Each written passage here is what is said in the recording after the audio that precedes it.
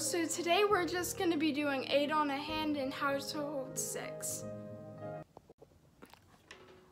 Okay, so when you hold sticks, you're basically going to want to put your stick, the end of your stick on the second digit of your pointer finger, put your thumb on top and wrap the rest of your fingers around. Don't try to have a lot of pressure in this area though. You're gonna want the top of your hand to be parallel with the ground. Do the same thing with your other hand. Again, both parallel to the ground, that's key here. And then when you put them together, they're gonna form a right angle on the practice pad. So we're just gonna go ahead and do eight on the hand. So, and it's exactly what it sounds. It's eight strokes on each hand. So when you're playing, make sure you keep your sticks down except for when you're playing.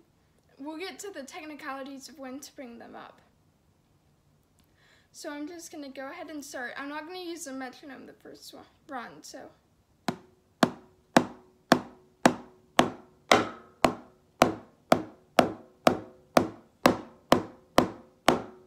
Okay, so that was pretty good. However, there is a way to make that better.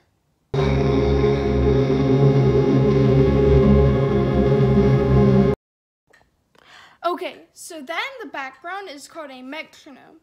And it's a tool we use basically to make sure we're being consistent with our tempo or the timing of our strokes. Slash rest, but we'll get into that in a later video. So I'm using another device for this. However, you can download a metronome on your phone. You can use a search tool. Um, you can use a sibling's or parent's phone.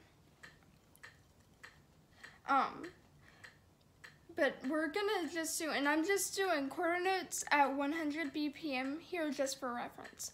So we're just gonna do eight on a hand here.